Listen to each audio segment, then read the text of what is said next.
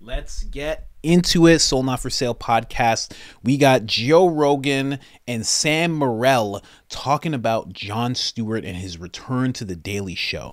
And I springboarded that conversation into the war between Tucker Carlson and Jon Stewart. Now, maybe you don't know. Maybe you think you know what I mean. That clip from the 90s I'm not talking about that. I'm talking about that. We're going to see some of that because I want you to see the stuff that they don't show you. Because in that interaction, they always say Tucker Carlson got destroyed, but I don't think so. I'm going to show you some stuff. But Tucker Carlson actually responds. If you don't know, recently Jon Stewart made a pretty much an expose, just slamming Tucker for the fact that he would even think to interview Putin, as most of the mainstream media did.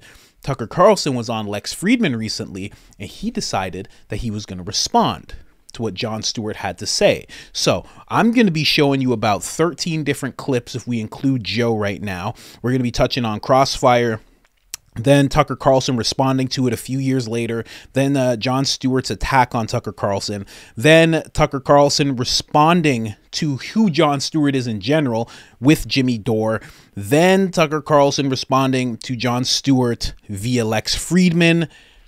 There's a whole lot going in this. Tucker Carlson slams him pretty hard, and he should. I have some things to say about Jon Stewart. I don't propagandist. That's where I'm going to start it at. And I know some of you will be like, no, no, he's just funny. He's just a comedian. I will explain throughout the episode. Don't forget about IamCoachColin.com. We got different variations of Soul Not for Sale. We got a whole bunch of stuff. Public Enemy number one, anti-mainstream stuff, We the People stuff, presidential mugshots, certified pure bloods, all sorts of stuff. Discount code is I am Coach Colin. All capital letters, all one word, one L in the name Colin. Let's start with Rogan. And so then I listened. I ordered the whole album on iTunes, and I listened to the whole thing on the way home. It's so It's like cool. it's incredible I love. album. By the way, I love when it's on shuffle and you hear like it goes from like a Tom Waits song to like Nick DiPaolo, and you're like, that was fucking, that was a big right turn right there. Holy shit! I think it's a steaming pile of me. I think that's the one that I downloaded. that's one. That, Fucking, he was good, man. he was excellent, and uh, I think it's important to make fun of both sides, and that's I, I, I, I- It makes me sad to see people get mad at Jon Stewart right now for for shitting on both sides. I think it's he's a comedian first, and I think it's cool to when you go to the clubs, they don't know exactly what you're going to say. Yeah, if you're gonna have Jon Stewart back on the Daily Show and Biden is making up words, he's gonna bring it up. He's He- not. He's not gonna just only fucking simp for the Democrats. He's gonna say some funny shit about anything that happens to Democrats too. It's funny. It's part of what the show used to be. It's weird that there's a respo- there's like a social responsibility people attribute to comedians when it's like most of us got good at this by cursing at strangers in a bar. Yeah. I mean, we all have our political opinions, which is fine, but it's like what Jon's capable of is delivering the news in a very funny way. He's the best at it. He's the best at that role of being like the guy that's doing the satire of the news, you know, just breaking down everything that's wrong and fucking stupid in the world. He he is the peak, and it's interesting because he's like the Animal House. He's like National Lampoon's Animal House of he's like the bar, and then a lot. Then everyone tries to copy Animal House, right? Right. Then- and you end up with a lot of like. Porky's, Van Wilder two, The Rise of Taj. You're like, all right, this isn't as good. But Stewart, like, if you actually look at his, his stand up, like it's like any form of entertainment. To break these rules, you have to know the rules, and Stewart is a great stand up. Yeah, he's a very funny guy. He had jokes He's I remember. Like guy. I remember he had a joke back in the day. Where it was about like uh, how Jews and black people are similar because you know Jews, you know black people we have the blues and Jews we just complain all the time. we just never thought to put it to music. And I'm like, that's that's the type of observation that's like that's like unifying. That's like Yeah. bringing a room together. Yes. I love that. That's a very funny bit too. Yeah, he had he had a, a great special in the '90s called Unleavened. I remember it. It was on Comedy Central all the time. Yeah, so he's back like on the Daily Show sometimes. Is that what it is? Mondays. Mondays. he was like, "I'll give you one day." That's a good move for him. Yeah. Yeah. Why? Why do it? I guess that he had a deal with Apple, and um, I don't know if they're saying the specifics of why they canceled the show, but it was something akin to they didn't want him to say anything that would get them in trouble. Something along those lines. I, I forget what his quote maybe was. about China, and they're like, "Hey, we make a lot of shit over Here there." it is. Yeah. Here it is. Um, Apple. Jon Stewart says Apple TV canceled his show because they didn't want me to say things that might get me in trouble. okay. Damn. Boy, kids, what kind of a world are we talking? And by the way, that's like that's like what comics that's what gets us excited. The idea that this could get me in trouble, like that, that's everything. Also, Apple, by the way, you d- distribute all the apps that do all the trouble. That, And you take a percentage, everybody too. in trouble. You take a percentage of their over the place. You, you don't want Jon Stewart to say something that might get him in trouble. Why don't you let him decide for himself? What's great about Jon Stewart too is like there's so many comics who are like, and I have no issue with this, but speak like recklessly. Uh, and Jon is so careful with his words Yeah, and, and so skilled at it. Yeah. Um, I wanted a place to unload thoughts as we get into this ele- election season, Stewart said. I thought I was going to do it over at, they call Apple TV Plus. It's a tele- television enclave, very small. It's like living in Malibu. But they decided they felt that they didn't want me to say things that might get me in trouble. Okay. I don't know what that means. You Yeah. know, that could mean a lot of things. Very coded. I think it's talking about, you know, I think China maybe. Yeah, I think there was a Stuff China- like that. something about that that Yeah. Apple did. Like Apple obviously works with China. The What was the su- subject? article Says It has- says China? Maybe it's something AI like in. China. Okay, Times reported that the duo had disagreements over topics that were to be covered in the third season, including AI and China. Wow, they had a disagreement about AI and China. These people, what are they doing? Members of the U.S. House of Rep- Representatives later questions Apple CEO Tim Cook about whether the tech giant's decision to cancel Stewart's show is because the host may have been planning an upcoming episode about China. Uh, he says, while companies have the right to determine what content is appropriate for their streaming service, the coercive tactics of a foreign power should not be directly or indirectly influencing those determinations. The leaders of the House of Representatives Select Committee on Competition with the Chinese Communist Party wrote in a letter to Cook. Holy shit. While Stewart did not mention the rumors about Apple, Apple's alleged worry over an episode about China, he did say the tech giant did want me to say things that might did not want didn't want me to get, say things that might get me in trouble. As for his Daily Show return, he said he hopes to provide a catharsis to viewers this election season and a way to comment on things and a way to express them that hopefully people will enjoy. Huh. Well, so far. That sounds like China said, "Don't fucking put that shit on." Yeah. That's what I got out It of is that. so- what did you get out of that? Yeah, Sam? exactly. I mean, it's like it's like that Seth Rogen movie. Yeah. uh, with The North dictator. Korea. Yeah, Is that one that's still available? Can you get that? I think so. Bro. Remember when there was like tension? Like, are we going to get nuked over a Seth Rogen movie? I remember watching that, going like, "Do you know how dangerous those people are? Do you know you want North Koreans mad at you for hee hees and ha ha's? Yeah, Really? yeah. Oof. And then they hacked the servers, right? Isn't that how that happened? Is that what happened? They With hacked the the So- was that? Sony, right? Yeah, and then a bunch of shit got found out. Yeah. And emails and. Was that definitely them? Was That's that? what I, I was trying to remember. I, I That thought could so, just but be maybe, yeah, cyber could have been- criminals. I think it was. It Yeah, I don't. a coincidence, I don't. It might have been a coincidence, and It could be cyber criminals that decided to attack based on that. They Oh might no, no, no, no. According to the wiki, it says uh, Can I just dream? that a boy dream? It was the them? Guardians of the Peace, a cybercrime group allegedly connected to North Korean government. Okay, it is con- connected, huh? Yeah. Guardians of Peace. What a great name. That sounds like a like a government bill. it is. is- Guardians of Peace sounds like a new bill they would push for the House. Man, that some of the Senate. Remember when the Senate did? They did a hearing on. Uh, it was like during Katrina. I think they did like one day on Katrina and nine days on steroids in baseball. Because they just wanted. It was like because you just want to meet Rafael Palmeiro. Remember? They're like, oh, we're big fans. Oh my God, that's hilarious. I mean, the, the shit that they get concerned with is so crazy. Yeah, but you don't want to go full communist. You don't want to say like the news shouldn't be able to make money. You know, they should be able to make money. They should be able to make money, but the second you combine news and entertainment, Yeah, it gets it's real a dangerous, mucky squirrely. area. It gets real squirrely. Because entertainment is is not news. Not the news news is all. supposed to be boring. Boring as shit. You're supposed to be like, why am I Yeah. watching? And now we have it in a way where like, you watch 12 straight out of the news. That's a fucking problem. Well, what's my favorite is the in between story banter. That is the most uncomfortable, hurried, kind of weird fake talk that exists in all of television. It doesn't exist anywhere else on earth right now in mainstream entertainment. And the, the banter between the anchor and like the weather lady as they're throwing back and forth to each other, then this guy. Oh, dude. It is the fakest. Well, that seems like uh, I don't know what to say I, about that. I still do morning news just to ruin the segments. That's the only reason I go on. I, I do it all the time. You did a good one in Columbus. Did you see that one? yeah, it's from France. I That was that was What'd one, you do? I I can send it to you. It's pretty funny. I, I'll find it. Yeah, it's. I, I think I have it here. It's it's uh it's probably on my Instagram or something. It's uh I just kept making up that they had a human trafficking problem in Columbus, and the guy lost it on me because I I'll only do those news segments if they're live because there's no point in doing a tape one. They'll just edit out whatever horrible thing I do. But you know, sometimes you get someone really cool and you'll just riff with them and be silly. But this dude, I could tell. I'll like I'll throw like a jab to see if it bothers them, and if I can sense it bothers them, I'll go like 100 miles an hour and just derail the segment. I got I got I remember I have a public I have a publicist Pam who hates me. She I just am like I don't care about morning radio. Just book me on morning shows 'cause- and she's like they're on to you. They know you're going to ruin the segment. But Pam. uh she gets so mad at me, but, But I, do you ever go on one and the people are cool and you don't ruin the segment? yeah, totally. But they usually end up. Sometimes they think it's funny, but other times, yeah, I did one. We were on a tour bus last year, and I pretended my opener Gary Vider overdosed on cocaine on the bus, and they were so mad at me. And uh, and she called me like, "You're banned from Good Morning Durham," and I was like, "I'll live." Uh, but but uh, we've done a lot where I just. I, I, I poke and I see what I can get away with. How many people are watching those shows? Not a lot, but when I share them, they do pretty well because they're It's- they're weird to watch me do something bad. That's amazing. That's wild. I don't even know why that still exists. Why do comedians even do that anymore? Couldn't you just make an Instagram video? Like that's all Bert Kreischer does now. He just makes Instagram videos. But going on, this guy likes Jon Stewart a lot, you know? And you know, I'm cool with that.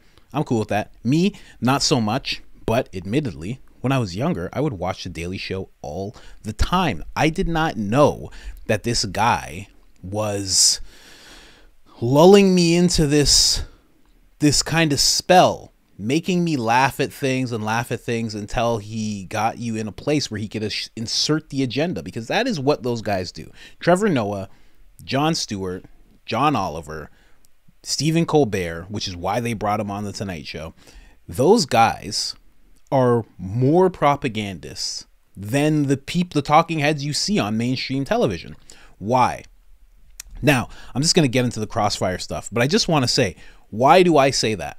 Well, think about this CNN is CNN. And when you're just trying to hang out and chill, you're not going to watch CNN.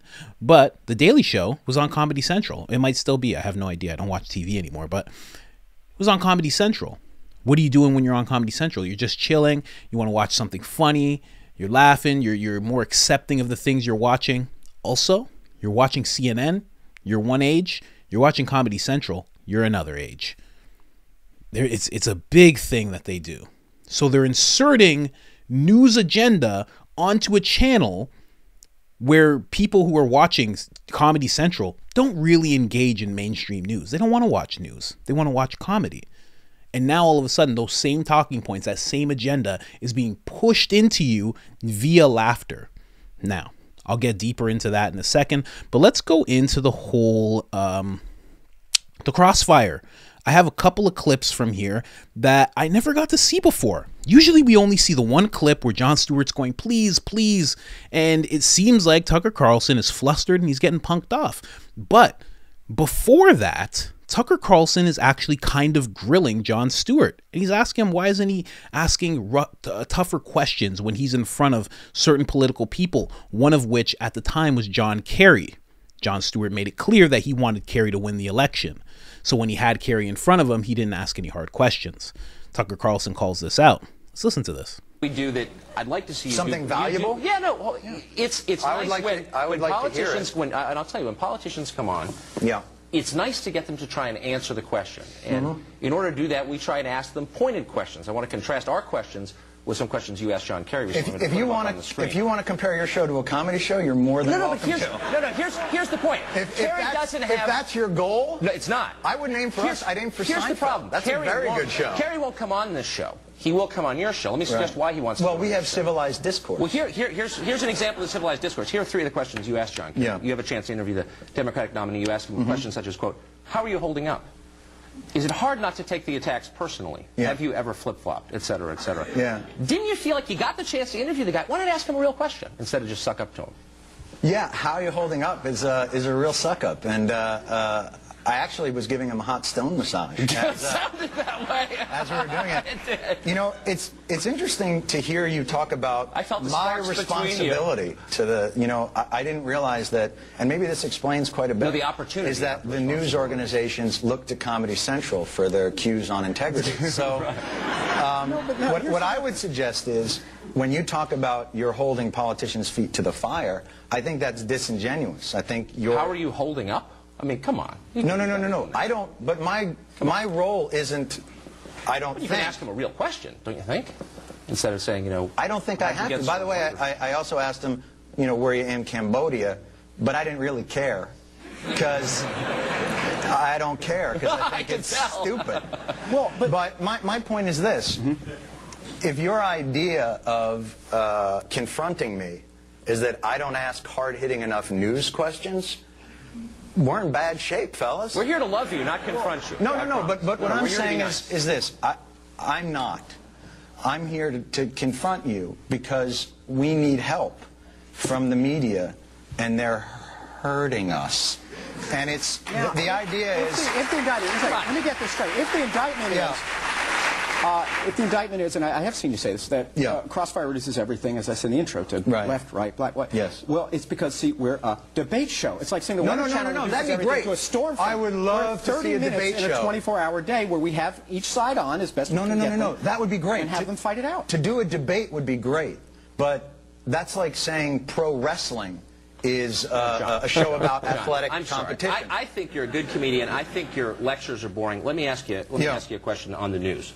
Now, this is theater. I mean, it's it's It is- obvious. no, it- How old are you? Thirty-five. And you wear a bow tie. Yeah, I do. I do. So- I do. so this is- no, no, I know, I know. so this you're is right. No, no, theater. let me just go. No, come on. And come on. listen, I'm not, I'm not suggesting that you're That- not, you're not a smart guy because those are not easy to tie. But the thing difficult. is that this, you're doing theater when you should be doing debate, which would be great. do no, it's- it's just it's not not honest. What you do is not honest. course, What you do it's is partisan hackery, and I'll, and I'll tell you You why have I, John I know Kerry it. on your show, and you sniff his throne, and you're accusing us of partisan hackery? Absolutely, You're You've got to be kidding, me. You're on and you CNN. say, My, the show that leads into me is puppets making crank phone calls. what is wrong with you? I'm All right, I will. Now, now, here's the thing. I just brought this up. He's trying to have this cop out, and I got another clip in a second. I actually got one, two more clips from the crossfire. So this is actually Tucker.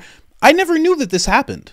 I never got to see this. We always see a very short clip of Jon Stewart kind of saying, I'm not going to be your monkey, and Tucker Carlson not really knowing what to say, but we never really see this part the personal insults towards the bow tie, him kind of copping out that he's a comedian, then also saying, you know, my show is, you know, I follow a show that's about like puppets making prank phone calls. That's true. And again, I bring this up to illustrate a point. The people who are watching that show, they're not all kids. I used to watch that show too. I think it was called like Crank Crank Callers or something like that. It, it was actually a funny show. It was like the Jerky Boys. Now, when when I was watching that, I would be in a state of laughter. And this is a real thing. A lot of people may not want to take this in as real. This is a real thing. I would be in a state of laughter. When you're in a state of laughter, Joe Rogan talks about this often. You're almost it's almost like akin to hypnosis. If I can make you laugh constantly, if I can have you in a state of laughter for 10 minutes, and then I ask you for something, you know, maybe it's something really small, you're probably more likely to say yes, you know, unless it's some wild thing that I'm asking for. But as we laugh with people, and guys know this, guys know this when you're trying to date a girl, if you're making a girl laugh, she's more likely to like you because she has you associated with laughter, the chemicals that go off in your head. So when we have someone like Jon Stewart trying to cop out, trying to say, oh man, I'm just a comedian, but yeah, you're a comedian who gets to talk to a presidential candidate. Why wouldn't you ask some at least remotely tougher questions? Why would it just be this fest, this this very soft fest where you get to parade this presidential candidate in front of the public and it's in front of a, a broad audience of people who otherwise didn't want to see a news show at all and now they know about this presidential candidate. They know that he's the one running. They see that he's sitting with Jon Stewart, someone who's funny, who makes me laugh. That's all I know about the guy. Seems cool. Seems cool to me. He sat with Jon Stewart. They got along. And Jon Stewart always calls out the people in power who need to be called out. But he didn't call out that guy. That must be a good guy. I'm just saying. I'm not saying that's how everyone's mind works. I'm not saying you're susceptible to that point. But there are a lot of people who are especially when you're sitting watching crank callers like me. And if you're anything like me, you're high out of your mind. You know what I mean? So it's just very interesting. It's a very interesting little, as you start to look at this a little deeper, because I didn't realize when I was younger that this guy was just like the talking heads in the media. But he's more than that. Because what, it, what comedians can do is something journalists can't. They can make you laugh. They can influence you. They are also actors. Jon Stewart is an actor. He's not just, you know what? Sorry. I'll get I'll get into that in a second. Let's play the next clip. You're saying there's no reason for you, when you have this marvelous opportunity not to be the guy's butt boy, to go ahead and be his butt boy. Yes, Come on, no. it's embarrassing. I was absolutely his butt boy. I was so far. You would not believe what he ate two weeks ago. You know, the interesting thing that I have is So, okay, you go have a responsibility to the public discourse, and you, you need to get fail job at a journalism miserably. school, I think. You need to go to one. The, the thing that I want to say is, when you have people on for just knee-jerk reactionary talk. Wait, I thought you were going to be funny. Come on, be funny. No, no, I'm not going to be your monkey. Um, Go ahead, go ahead. I watch your show every day, and it kills me. I can tell you love it's it. so oh, it's so painful to watch. Um, you know, because we need what you do. This is such a great opportunity you have here to actually get politicians really off of their marketing anyway? and strategy. Yeah, it's someone who watches your show and cannot take it anymore. I just can't. What's it like to have dinner with you? It must be excruciating. Do you like lecture people like this, or do you come over to their house and sit and lecture them? And you know they're not doing the right thing, that they're missing their opportunities, evading their responsibilities. If I think they are. Look, I wouldn't want to eat with you, man. That's horrible. I know, and you won't. But the thing I We want to did- get We did to. promise naked pictures of the Supreme yeah, we Court. did. No. Let's get to those. Why which can't, in this book, why which is a can't we just talk? book. Please, I beg of you guys. I think you please. watch too much understand- Crossfire. We're going to take a quick No, break. no, no, no. Look, no, no. Hold on, We've please. got we've got commercials. Like he's like pleading with them like like again this look at this face this is exactly what a journalist can't do a journalist doesn't they don't have the skill set to be like please please i i'm just one of the people and i can't take it anymore we need your help please they don't have that skill set they don't have the skill set of punchlines or misdirection or anything like that they just don't do that. If you ask Matt Taibbi, hey, make this article funny, he'd be like, I don't know what you're talking about. We're talking about the Nord Stream pipeline. Can I just put this story out? That'd be it. But hey, Matt, can you can you can you spike your hair up a little bit? You mind wearing this wig and spiking your hair? He'd be like, No, what are you ta- I don't do that. But if you go to a guy like Jon Stewart who was in Half Baked, who was an actor, comedian, and you say, Hey, I need you to take this narrative and I need you to, to make it funny. And I need you to kind of tickle the left and I need you to slice the right. Can you do that for us, Jon? Of course he can. And he can do it masterfully. Masterfully. Everybody knows Jon Stewart, like whether you like him or not. I don't. But as a stand up, like I know stand up. He's great. He's a great stand up comedian. And when you're a great stand up comedian, you're really masterful at doing things like monologues. I mean, think of like George Carlin. I'm not comparing the two, but like think of George Carlin. If George Carlin sat down like Tucker Carlson and did a monologue, you'd be like, this is the greatest thing I've ever seen. He always wanted to do stand up, but if George Carlin had a podcast, you'd be like, I'm listening to everything he has to say. There, he'd be the biggest podcast in the world right now if he had a podcast, because he was so good at punching things up, making things funny, throwing you this way, throwing you that way, making you think he's coming at this, coming at that, and then boom, all of a sudden something hilarious happens. Journalists can't do that. That's why guys like this are more dangerous. Now, we got a third clip. We got a third clip from Crossfire. This is the last clip. I believe this is the last clip. Let's see. Yeah, yeah, this is the last clip here. And then we have one more where uh, Jon Stewart decides to just insult Tucker because he's mad. Our moral inferiority. Jon, you're bumming us out. Tell us, what do you think of the Bill O'Reilly vibrator story? No. I'm sorry? I don't. Oh, okay. What, what do you think? Uh, let me change the subject then. Uh, Where's your moral which- outrage on this? I don't have any. uh, I which, know. Which candidate do you suppose would provide you better material? I'm sorry? Which candidate do you suppose would provide you better material if he won? Mr. T. I think he'd be the funniest. Uh, How would you have a stake in it that way, as a, not just a citizen, but as a professional comic? right. Which I You have- hold to be much more important than a, as a citizen. Well, there you go. Uh, well, who would provide you better material, do you suppose? I, I I don't really know. I, it's kind of not how we look at it. We look at the, the absurdity of the system provides us the most material, and that is best served by sort of the, uh, the theater of it all, you know, which, by the way, thank you both, because it's been helpful. But, if- but if, if Kerry gets elected, is it good? I mean, you said you're voting for him. You obviously support him. It's uh, Mm-hmm. clear. Will it be harder for you to mock his administration if he becomes president? Now, why would it be harder? Because The only way it would be harder is if his administration is less absurd than this one. So in that case, if it's less absurd, then yeah, I think it'd be harder. But, uh, I mean, it'd be hard to top this group. I mean, quite frankly, uh, in terms of absurdity and their world uh, matching up uh, to, to, to the one that, you know, it was interesting. I, I, President Bush was saying, you know, John Kerry, his rhetoric doesn't match his record. But I've heard President Bush describe his record. His record doesn't match his record. So, you know, I don't, I don't worry about it in that respect. But let me ask uh, uh, you guys again a question, because we talked a little bit about you know, you're actually doing honest debate and all that. But after the debates, where do you guys head to right afterwards? The men's room. Be- Right after that, Right, home. Spin Alley. Home. No, Spin Alley. What are you talking about? I mean, at these debates? Yeah, you go to Spin Alley, the place called Spin Alley. Mm-hmm. Now, don't you think that for people watching at home, that's kind of a drag? That you're literally walking to a place called Deception Lane? Like it's Spin Alley. It's don't don't you see that's the, the issue I'm trying to talk to you No, I actually believe I had a lot of friends who worked for President Bush. Uh, I went to college with Neither them. of us was ever in the they, spin room, actually. They, no, I did. I went to Larry King show. They actually believe what they're saying. They want to persuade you. That's what they're trying to do by spinning.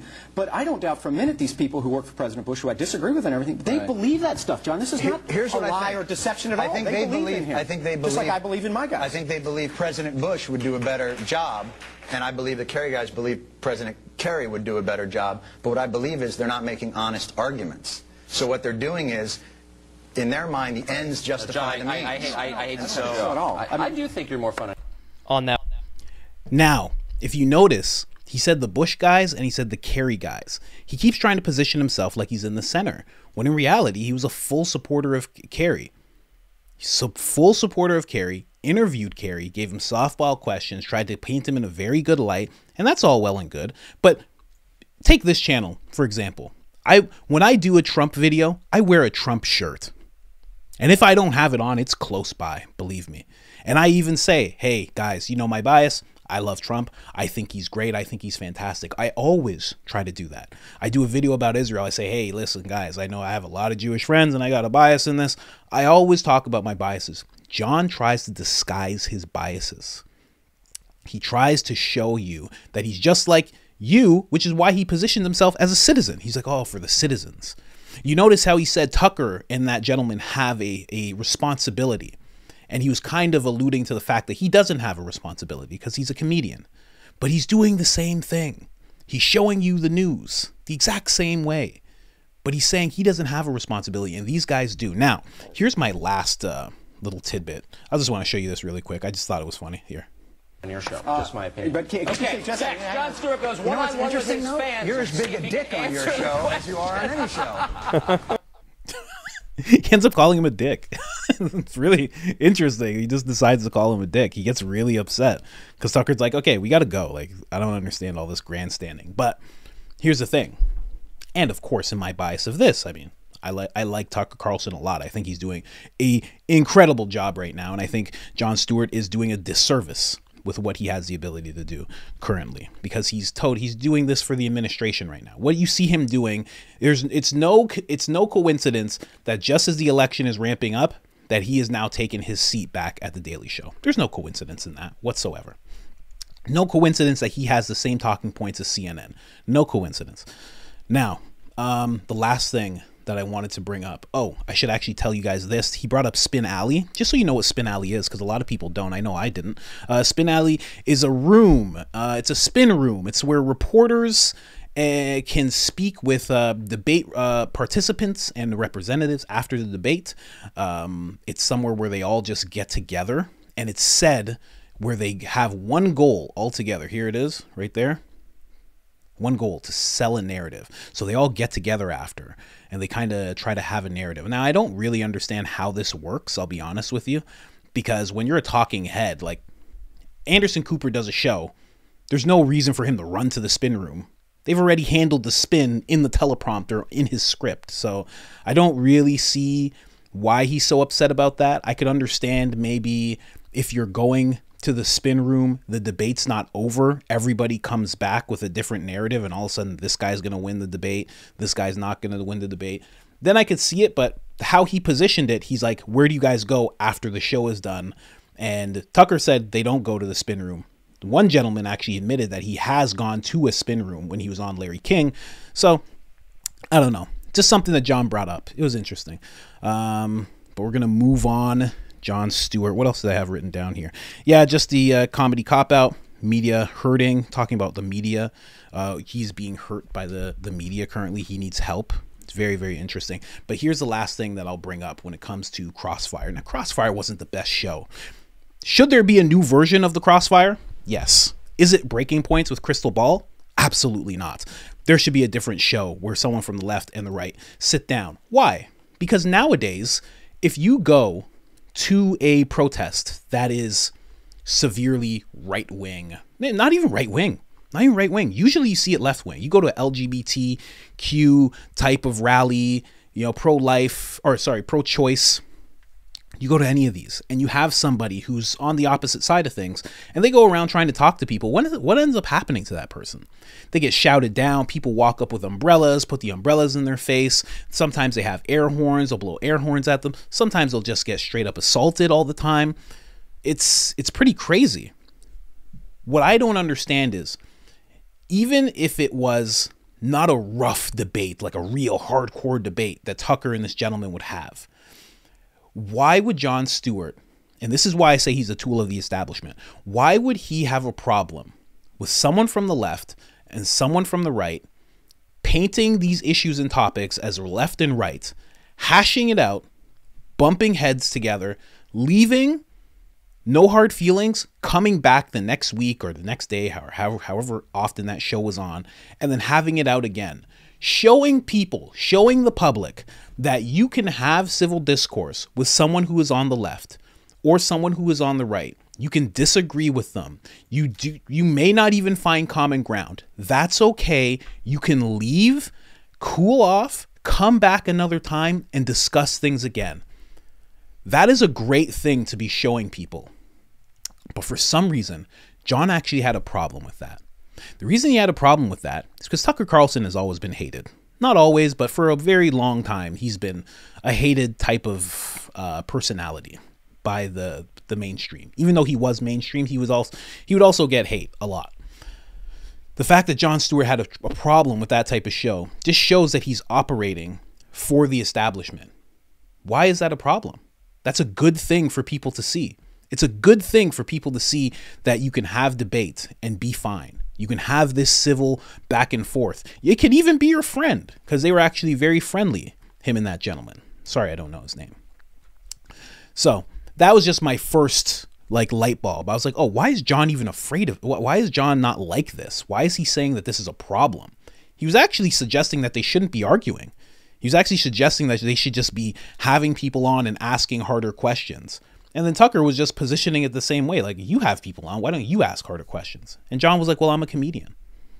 It was absolute nonsensical. But that was Tucker Carlson getting destroyed. I'll let you decide from what you saw if that's actually what happened. I don't really think so. I used to think so because I only saw that little part of it. But now that I've watched the whole thing, I'm like, mm, not really. They kind of just went back and forth. And they annoyed each other, obviously. Now this is Tucker Carlson years later responding to Jon Stewart. This this this beef runs deep. This is like Tupac and Biggie right here. I didn't debate Jon Stewart the first time. He came on our show and made a bunch of noises that I didn't understand then, I don't understand now. I think he's a talented guy, uh, more talented than I am, and been more successful than I am. But I still don't understand what point he was trying to make. I thought it was ridiculous. And if you go back and look at the tape, I haven't, but I remember it pretty well. Um, I don't think he said anything intelligible or worth hearing. You know, you're bad for America. Okay. Um, you suck up to politicians. Well, that's that's about the only sin I've never committed. I mean, the one thing I've never done is sniff the throne of someone in power. I just I find that repulsive. I've never done it. Um, he has. He would have politicians on his show, and you know, if he agreed with them, John Kerry, for example, Barack Obama, right before the presidential elections in 04 and 08, he would ask them, you know, why are you so wonderful? Is it hard that people are so mean to you? I mean, I, I felt like he had an obligation to ask a little tougher questions. Um, I may have asked questions that were too nasty. You know, that's probably a fair criticism, but I've certainly never sucked up to anybody. So I didn't even understand his criticism then. I get that he was more popular than I was, and probably still is much more popular than I am, and so he was recorded as the winner. But on the merits, you know, what he had to say was dumb. Tucker, Tucker, I love Tucker, but that you, you can tell he's still a little bitter about that. Nobody likes that. You know, Tucker Carlson brings up the fact that that was one of the first big viral clips on YouTube. Period. One of the first, which had to be a big shock. He talks about it a little bit in a in a clip that I'm going to show you, but he uh, actually I don't even think I have that part, but he brings up the fact that it was kind of a shock and it was there forever, and people kind of determined Jon to be the winner because Jon was more popular. And it's just funny how tables have turned so much. Now, Tucker Carlson and Jimmy Dore sat down. And again, if you're an avid watcher of this channel, thank you so much. But you may have seen this clip already if you've been watching every single video. But I have to show it again just for context in the whole back and forth that they've been having. This is Jimmy Dore giant balls of steel on Jimmy Dore. He decides while he's interviewing Tucker Carlson, let me show you a clip of Jon Stewart and you going back and forth. And then they kind of just uh, they talk about Jon Stewart, and Tucker Carlson talks about what he really thinks about Jon Stewart. So let's go. So that that was go ahead, Kurt. Do you know what I realized what Jon was arguing against? Because I remember when that came out. What he's arguing against is like, no, you. It's not productive because you guys are aren't like uh, you shouldn't be arguing at all. We should all just be united, saying the the handed propaganda without even the illusion of an argument. That's right. So what what happened to you? You went from there you made atonement for the Iraq war, and then they took your advertisers away, and you started to tell the truth about everything: the Syrian war, Ukraine war, COVID, vaccines, everything. You started to be the only person in news to tell the truth about the biggest stories of our time. And Jon Stewart went on to hang a medal on a Nazi at Disney World in service of the war machine and he'll never apologize for it and he'll never even he'll never even acknowledge that he did it just go hey i got tricked or something. So he won't even say that because he won't tell people the truth about the Ukraine war. Because for a second, he told the people the truth about where the virus, the COVID virus, came from, which was a lab in Wuhan. He told the truth on Stephen Colbert's show, and then he was ostracized from polite society for over a year, and it it was it damaged him. It damaged him so much that he was willing to hang a medal on a Nazi at Disney World. The guy covered it up though. He and didn't the, know until there after. it is. See, he put a red thing on it. And then and then he had to go give a tongue bath to two of the most bloodthirsty warmongers in the history of our country, Hillary Clinton and Condi Rice. And then when he did cover COVID and the vaccine, he didn't bring on Dr. Robert Malone or McCullough or Pierre Kory or anybody who had a counter narrative to the establishment lies. He brought on three liars for the establishment and pretended like he was co- so he did propaganda for big pharma and the establishment not only for wars he's doing it currently and he's not only put for vaccines but for covid for everything.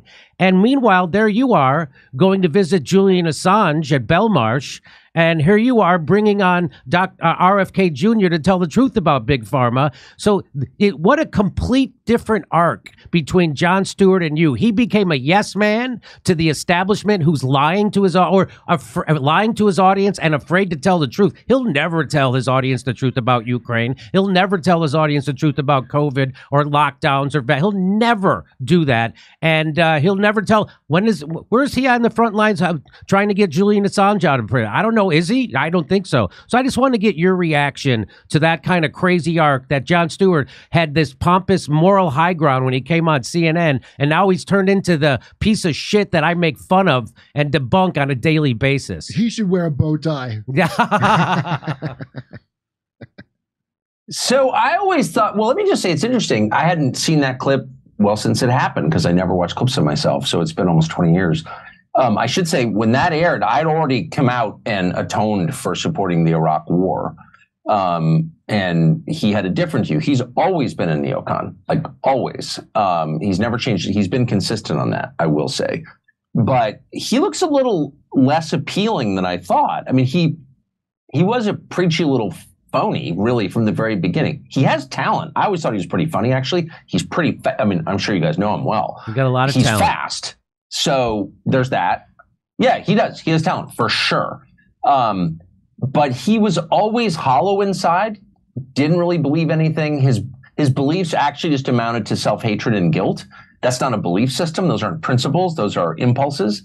And um, so I'm not really surprised that he has become, you know, another Praetorian guard for the establishment because that's kind of what he's always been in a way. Like he would he would do the sort of normal shit they do, like you know, ra- they love the race stuff. You're a racist. So and so's a race. Everything's about race. It's just not that interesting a topic, in my opinion. I've never been very interested in race. It doesn't go anywhere, but he's obsessed with that topic. And in some ways, in retrospect, that's the easiest topic. Everyone's like, oh, it's the hardest topic. No, it's the easiest topic. Because you, you don't have a conversation. It's just posturing. Nothing ever changes. No one's life is improved. No one actually gets better. No one's improved at all. But the person doing the hectoring gets to feel superior. And he's that's kind of been his bread and butter for for the 25 years I knew him when he came on. I mean, I'd known him for a while. So for the 25 years I've known him, that's kind of that's been the sum total of his moral universe. Like you're a racist, I'm not. And um, so it's really not surprising that he's wound up sucking up to Condi Rice or, you know, Hillary Clinton or some other totally indefensible warmonger creep. I'm not surprised at all. You don't think it's useful for him to ask the former first lady such hard hitting questions like "What's it like to be a powerful woman"? You don't think that's very? You don't think that's? but again, again, again, that's so so we're getting back to the race and gender thing, and like race and gender are real, and there are differences between the races and the genders or whatever, but they're not actually that. It, it's not that. First of all, it's not that interesting. It's not the most important thing, and it doesn't go anywhere. So, but that's always where they go. All of these people, they did it with me for years. Once they couldn't cancel my show by pulling the advertising, then I became a white supremacist and a Nazi and a racist. And at some point, I remember thinking to myself in the shower, I don't know, am I a racist? Like, no, not actually. And then I just kind of didn't care after that. But they didn't stop because that's sort of all they had. They didn't want to like actually debate whether the Syrian gas attacks came from Assad or whether they even existed. They did not want to have that conversation. They didn't want to talk about anything of substance at all. They just wanted to dismiss you as crazy or a bigot. And um, that's the world that Stewart has lived in for the decades I've known him, I will say. I think his next big move has got to be that he actually becomes a powerful woman. There just aren't any more chess moves left on the board. Am I right? Jimmy's a beast. Jimmy is a beast. It's crazy. You know, I've been uh, mulling over how I was going to release the interview with Jimmy because he just goes off on so many things. And, you know, no matter what, when this is your main income, you're like, there is a fear. You're like, oh man, he said all this stuff. But I think I just got to release it just in, in, in total, in general, and just put it out there because we did it. We met. We did it via Zoom and uh, it was pretty great. But I'll, I'll be honest with you. I'll be honest with you. I couldn't hand. I'm not ready for Jimmy Dore. He was like a whirlwind, and I couldn't reel him. I'm no Joe Rogan. I couldn't. I had like 15 questions. I got to ask him maybe four. He just goes. It was crazy. But sorry. Let's focus in. Um, let's focus in. We just heard all of that from Jon Stewart, or sorry, from Tucker Carlson. Now right? And I and I think Tucker acts like he doesn't hear anything Jon Stewart says, and Jon Stewart sits back and acts like he doesn't hear anything that Tucker says. I think they both hear everything that they're saying about each other because Jon Stewart went hard. Okay? I don't like Jon Stewart, but he made a 20 minute video about Tucker Carlson and him interviewing Vladimir Putin. Tw- 20 minute video, pretty much an expose picking apart Tucker Carlson. Now, I'm going to play this, and then I'm going to play a clip from CNN. And I just want to show you the fact that this guy, why does somebody who is supposed to be the the middle finger for all of us, the middle finger to the establishment, why does he have the same talking points as CNN? The exact same. Let's go. Here's why we're doing it. First, because it's our job. We're in journalism. Lie about what your job is. We're in journalism. Our duty is to inform people. Lie about what your duty is. Americans have a right to know all they can about a war they're implicated in. Freedom of speech is our birthright. We were born with the right to say what we believe. Oh, shit. Kudos, Sensei. That was deep. I have much to learn. Disguise your deception and capitulation to power as noble and moral. and based in freedom. Yes, master. Uh, just out of curiosity. Uh, So, just wanted to play that part for you. Okay, and now you're like, what do you mean he has the same talking points as CNN? Remember what he just said and the clips that he just played, even the same clip. Listen to this. We're here to interview the president of Russia, Vladimir Putin. Tucker Carlson is lying from the streets of Russia, no less. Not a single Western journalist has bothered to interview the president of the other country involved in this conflict, Vladimir Putin. That's a lie. Serious news outlets, including CNN, have requested Putin to interview over and over again. Most Americans have no idea why Putin invaded Ukraine or what his goals are now. They've never heard his voice. Another lie. Serious news outlets, including CNN, have covered and, of course, reported on Putin's words since this war began, including one of his baseless justifications for the invasion of Ukraine, which he initially claimed was to stop the Nazis. First, because it's our job. We're in journalism. Tucker Carlson is not a journalist, not even close. And Not even close. Why does Jon have the same talking points as this CNN person? They use the same part, everything. Be wary of people who speak in unison. Always be wary of people that speak in unison. It is crazy that Jon has the exact same talking points as CNN and as all the mainstream media. And I only say that to position my argument that he is a tool for the establishment. He really is and he's one of the most dangerous. Again, his his show and watch it. It's tickle, they just tickle the left and they slice the right.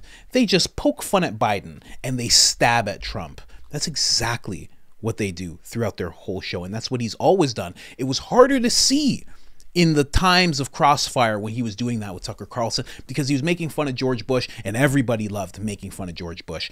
Everybody loved jokes about George Bush. Everybody was talking about what a terrible president George Bush was. So when, when Jon was doing it then, it made perfect sense. But now that we have X and we have we have YouTube and we have independent voices and we have people who are funnier than Jon Stewart doing their thing on YouTube. We have people who have more followers, more subscribers, all we have more access now. Now you can look at someone like this. Someone like this and you can see that this guy is just he's the same as Anderson Cooper. The only difference is he's a hundred times funnier. That's it. That's the only difference. And he doesn't have as much money because Anderson Cooper's a Vanderbilt, in case you didn't know. I always like to bring that up. Now, we're going to move on. Okay, let's move on here. Well, actually, no, we're not going to move on. Let's let's play this clip from uh, Jon Stewart. He goes a little deeper. Now he really stabs at Tucker Carlson. Here's the reality. You know all this because you aren't as dumb as your face would have us believe. Perhaps if your handlers had allowed, you would have seen there is a hidden fee to your cheap groceries and orderly streets. Ask Alexei Navalny or any of his supporters. In Vladimir Putin's Russia, political repression is everywhere. And hundreds have been arrested for daring to honor Navalny so publicly. Right. Because the difference between our urinal caked, chaotic subways and your candelabred, beautiful subways is the literal price of freedom. But the goal that Carlson and his ilk are pushing is that there's really no difference between our systems. In fact, theirs might be a little bit better. The question is, why? Why is Tucker doing this? Here's why it's because the old civilizational battle was communism versus capitalism. That what drove the world since World War II. Russia was the enemy then. But now they think the battle is woke versus unwoke. And in that fight, Putin is an ally to the right. He's their friend. Unfortunately, he is also a brutal and ruthless dictator. So now they have to make Americans a little more comfortable with that. I mean, liberty is nice, but have you seen Russia's shopping carts? And Tucker would have gotten away with it if it weren't for those meddling assassins. In a statement to the New York Times, Carlson said, quote, it is horrifying what happened to Navalny. The whole thing is barbaric and awful. No decent person would defend it. Correct. No decent person would. For more on, oh, please enjoy your car. For more on. Please, please, no, clap, clap, of course. And here's the thing, and, and I'm going to actually let Tucker explain this. That is why I have more clips of Tucker talking with Lex Fridman. Um, Tucker does explain what he actually meant when he was talking about the Russian system, when he was in the grocery store and all that stuff. He explains it a little more. But here's the thing what Jon Stewart just did is he positioned it as woke versus unwoke. And we all know what that is that is left versus right. And he's saying if you are right, you are aligned with Putin. That's what he's trying to pull off right now. And that if you want the clean streets that you saw uh, in the Tucker video, if you want the clean streets and the clean subways, well, what you're really asking for is a dictatorship. And you have to understand that the chaos that you see with the looters and people going crazy in the streets and the lawlessness and the open borders, well, that's freedom that you're seeing. And if you want anything other than that, well, then you're a Putin, you're aligned with Putin. You're a Putin apologist. You're a communist. Look at that. Those are the things that he does. Only a comedian could do this. Only a comedian could do this this well. Ah, ah. Anyways, guys, let's move on. Let's move on to. Uh, I can't. I can't. I can't push that point enough. That he's trying to align American citizens wanting clean streets, order, and secure borders as being aligned with Putin. Not not not only is it right wing, but you're also aligned with Putin now. Beautiful. It's because Nazi got stale. That's why. The word Nazi got too stale. Can't call black people Nazis, but you can you can say that they're aligned with Putin. But it's funny, again, the only reason I'm going to show this really quick is because these talking points kind of align with mainstream media. Now interviewing Vladimir Putin. Right. The first American, I'll say, journalist uh, to interview Putin since the war in Ukraine Mhm. began. What does that tell you about Tucker Carlson and right wing media and also Vladimir Putin? Well, it shows me what I think we've all known. He's what's called a useful idiot. I mean, if you actually read translations of what's being said on Russian media, they make fun of him. So I just wanted to play that really quickly because not what Hillary said, well, also what Hillary said, because Jon is trying to liken Tucker to being an idiot as well for suggesting that there should be clean streets and whatnot.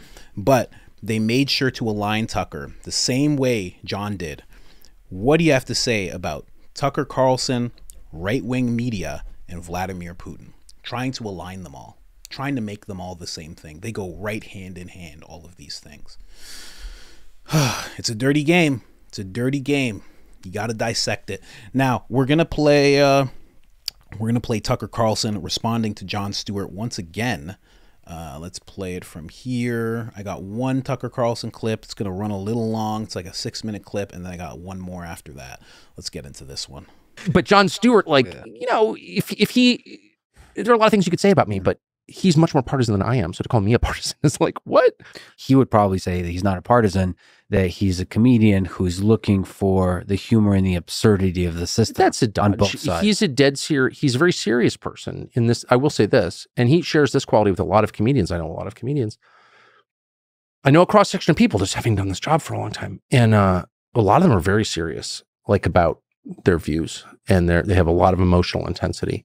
And he certainly is in that category. He's not. That's that's like the silliest thing. Yeah, he's a comedian for sure. He can be very funny for sure. He has talent, no doubt about it. I've never denied that. But he is a he's motivated by um by his moral views. You know, this is right, that is wrong. And and I just think that's it's a misapplied passion. What do you think? I'm just a comedian. Is um I don't think any serious person thinks that. I mean, if you're just a comedian, be and and I look, I'm I, I'm not trying to cl- claim I couldn't claim that I haven't said a lot of dumb things. And one of the dumbest things I ever said was when he was on our set lecturing me.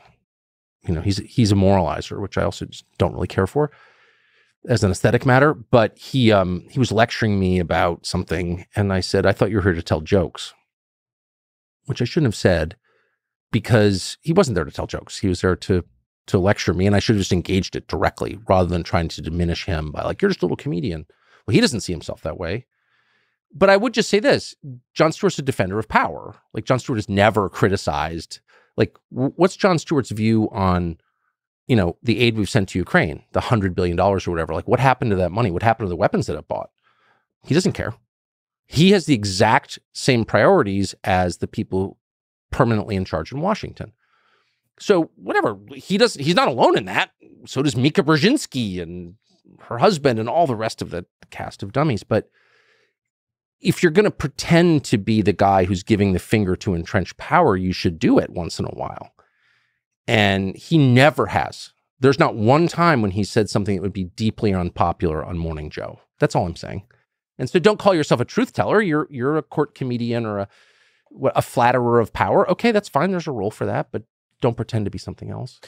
I'll just be honest that I watched it just recently that video and From I rem- 20 years ago. From 20 years ago, I watched it initially, and I remember very differently. I remembered that Jon Stewart completely destroyed you in Yeah. that conversation, and I watched it, and you asked a very good question of him, which was, and you th- there was no destruction, first of all, uh, and you asked a very good question of him. Why, when you got a chance to interview John Kerry, did you ask a bunch of softball questions?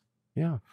I thought that was a really fair question. And then his defense was, well, I'm just a comedian. So I thought that was disingenuous. And I haven't watched it. I never have watched a clip one time in my life. And um, I don't like to watch myself on television. I never have. So that and that's my fault.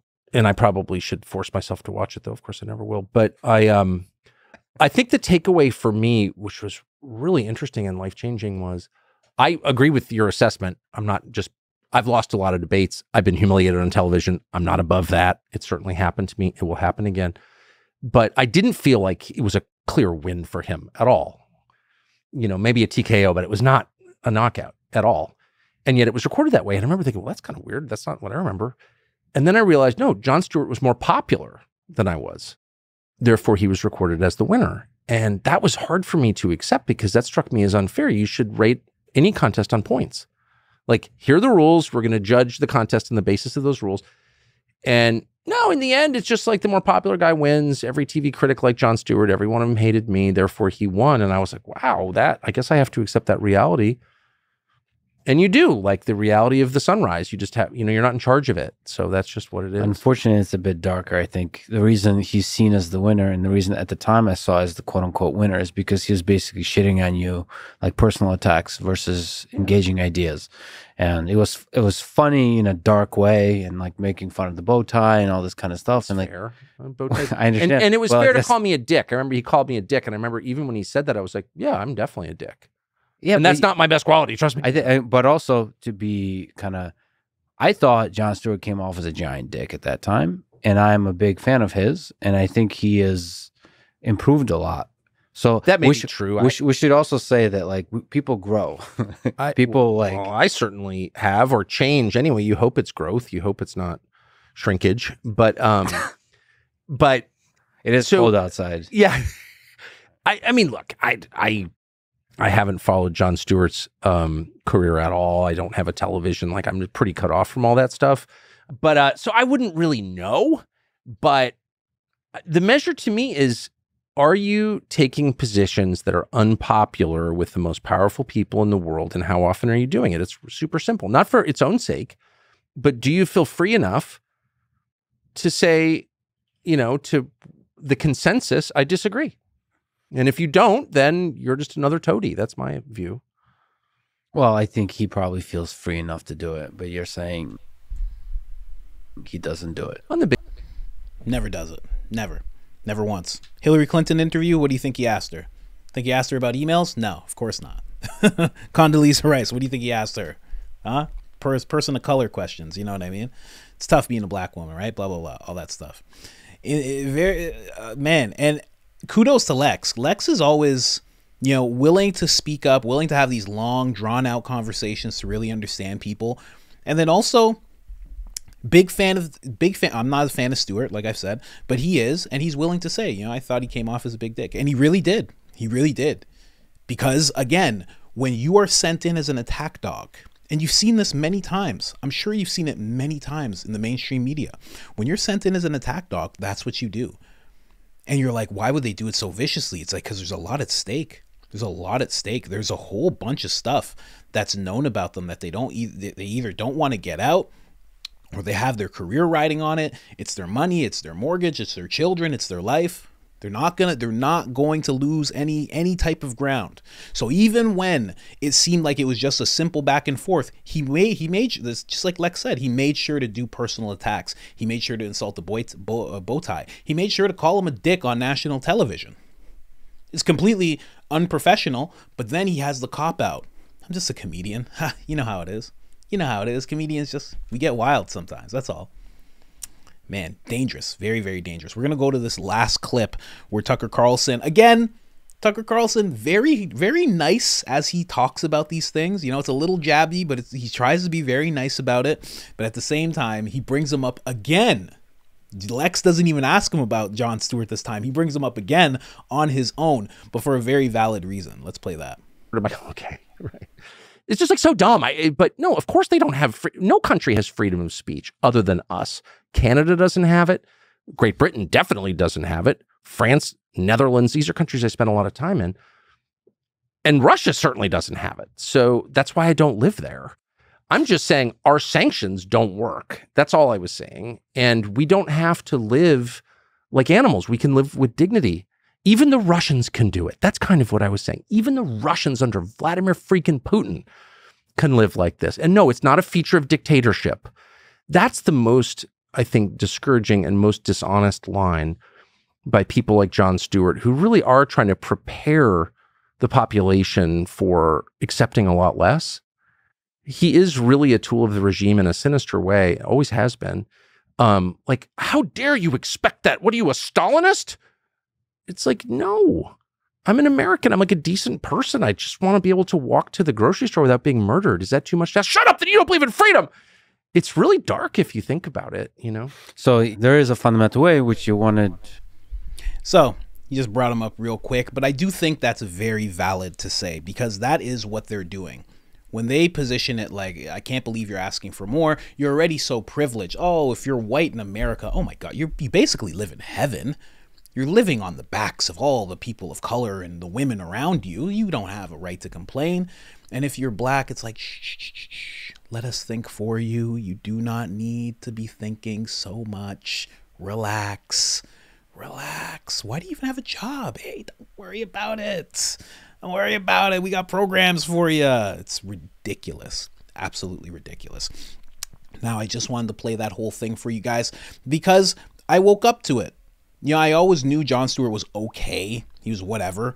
But after seeing the whole exchange and seeing things in a different light, I was like, oh, this guy is a tool of the establishment. He is, he is one of those talking heads.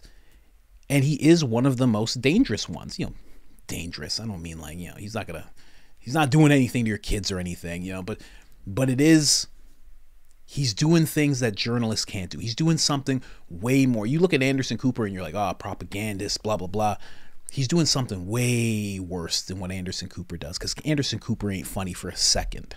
You know what I mean?